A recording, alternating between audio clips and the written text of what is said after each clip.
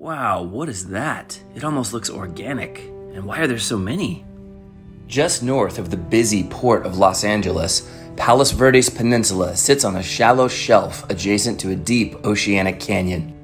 Unpredictable conditions, surf, and razor sharp reefs make it exceptionally dangerous to navigate.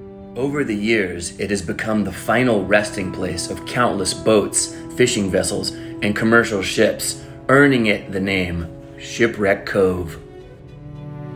These hunks of degrading iron are engine blocks and motors, all that remains of the unfortunate ships that were sank here in Shipwreck Cove.